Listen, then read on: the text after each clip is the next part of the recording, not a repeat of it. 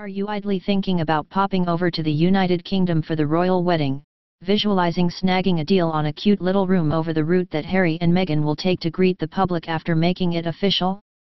Unfortunately I am here to brutally crush your daydream. As early as December, People was reporting that 98% of hotel rooms in Windsor are booked for the wedding weekend, May 18th to 20th, according to Booking.com.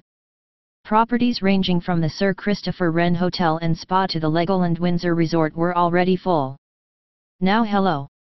The best named celebrity news magazine in the business has checked back in with the latest. Outstream video Midnight Midnight The moment the date was announced all the hotels sold out online but the hotels along the parade kept all their street-facing rooms back, a hotel source told the magazine, adding that, they're being sold now for an absolute fortune they're all going to the media which makes life easier for everybody because of course those rooms have to be scrutinized for potential security issues too. What counts as a fortune?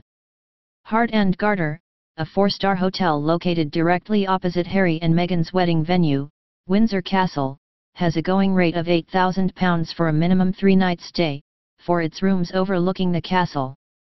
Macdonald Windsor Hotel has had TV crews pay a whopping £10,000 for suites with balconies overlooking the high street, which will provide the best view of the newlyweds as they take part in a carriage procession down the main road. Julia White, visitor manager for Visit Windsor, told Hello, if anybody wants to come for the weekend and enjoy the celebrations then I would suggest they do book as soon as possible. Don't feel bad, though. The Guardian reported that media organizations were reaching out to hotels as early as late November, when all they knew was the wedding month, trying to get provisional bookings.